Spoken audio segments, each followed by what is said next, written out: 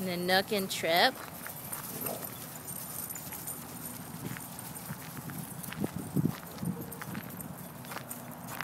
Mabel's good girl today. Oh, everyone's peeing now.